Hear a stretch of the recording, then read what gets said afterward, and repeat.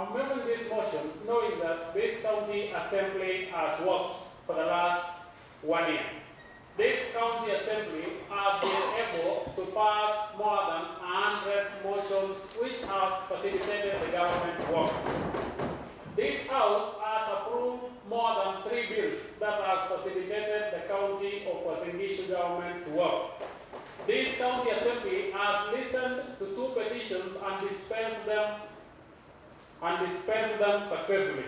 Mr. Speaker, sir, this house has always acted in good faith.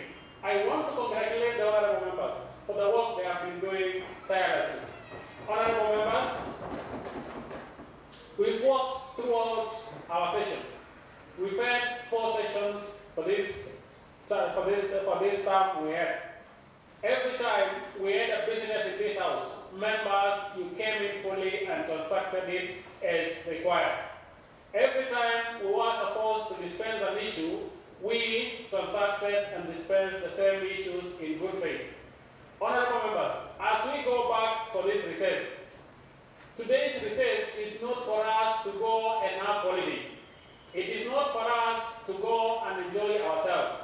In this recess, we are required to go and meet our electors and collect their views that we are supposed to make sure that we finalize them when we come back next financial year, next, next uh, the next session. Time has come for us to break till January so that uh, uh, we can have time to stay with our families. We can also have time to travel down to Kisumu for the for the EALASCA Games and other activities which will follow in this month of December. Uh, uh, we know that the year is very short in the coming year because the electoral year. We need to prepare ourselves, those who are elected, even those who are nominated still could be some will fight for other seats. So we need a very thorough preparation in this month. So I think uh, having a, a break from, uh, from today to January 10th uh, will be very noble for us as elected members, as nominated members, so that they stay with our families during the holiday.